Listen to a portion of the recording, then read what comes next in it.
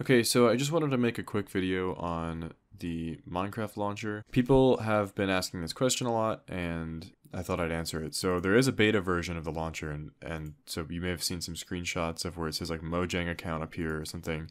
So if you just go to your settings on your Minecraft launcher, and then you click right here where it says use beta version of the launcher, and then it'll say up here, new launcher update is ready.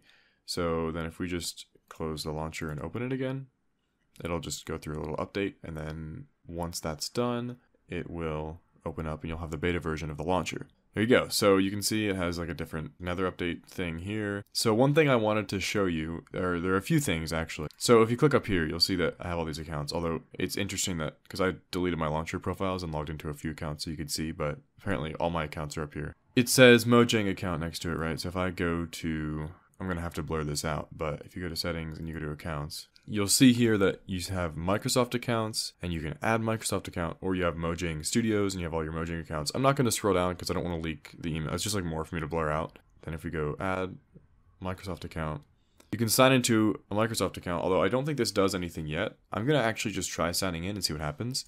Okay, so it just says like welcome back and then it has my email and then if I click let's go, Wow, so it does just have a Microsoft account active. I don't think this does anything. Okay, you can only play demo on it. So basically, it seems like they're getting ready. I mean, it's very clear that they're getting ready to switch over to Microsoft accounts or at least add support for Microsoft account login to the launcher. It's it's in already. So if I go to installations, here's another thing. Um, there's just this is like unrelated to accounts, but if I just go find like something modded, like if I use LabyMod, it'll say, "Oh, this installation has been modified and might not support the latest player safety features." Just you know, I call it Microsoft defying. There's a little OG name for you to go claim.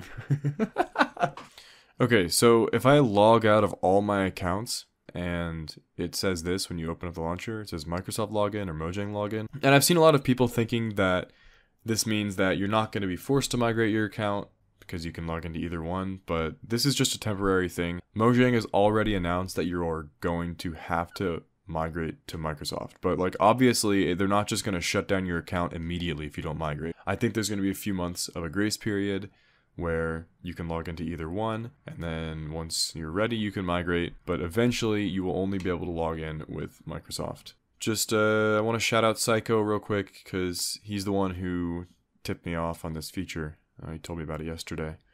So thank you Psycho. Alright, I think that's everything I have to say. Just a quick video on this beta version of the launcher and what I think about it or, or what the features are. I have a 10k special coming really soon. I really want to do something where we line up as many of you guys who watch my videos on a server like as possible. So if anyone's interested in that, join my Discord. The link will be in the description. Uh, I just thought it'd be kind of fun. We could get a bunch of people on a server and like I could take some footage of it for the 10k special. So if you want to be in the video, join my Discord. I'll probably make like an announcement about it or something like that in the next couple days. All right, thanks for watching. I'll see you in the next video.